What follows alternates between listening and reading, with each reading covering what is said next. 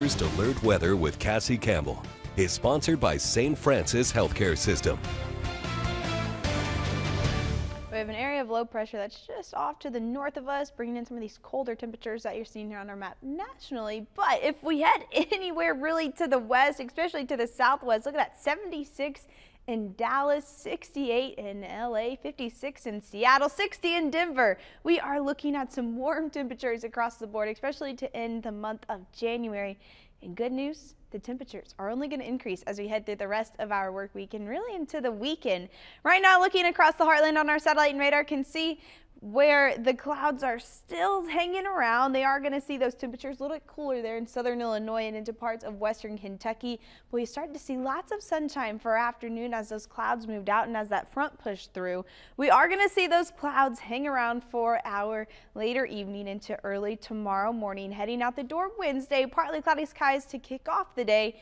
But by the time we get to the afternoon, the clouds should start to work their way to the east. We'll see that clear and sunshine once again from west to east throughout the early afternoon and into tomorrow night. Should start to clear up just a little bit. Clear skies in store for us for tomorrow evening. There could still be a few lingering high clouds out and about as we head through Wednesday night and then into Tuesday morning, Tuesday, Thursday morning, and then by Thursday afternoon, partly cloudy skies hanging around. Lots of chance to see some sunshine though. A little bit of cloud coverage works in for Thursday night into Friday, but that sun's still going to be able to come out just a little bit as we head into the weekend. Live look outside can see that nice clear blue sky.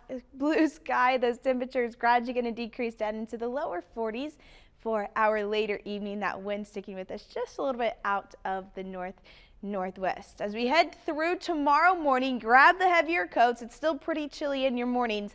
Mid 30s for us, 34 in Paducah, 32 in Marion, 33 here in Cape. By the time you get to the afternoon, we're going to heat up into those upper 40s, lower 50s for our highs tomorrow afternoon and only going to increase from there 48 on Wednesday.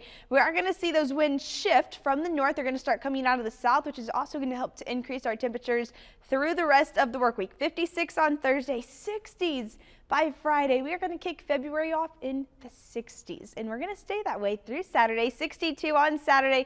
Partly cloudy skies. It's looking like a really nice start if you have any plans in store. We have a lot of things going on across the heartland, and it is looking like a great day for Saturday. A little bit of rain works in for Sunday.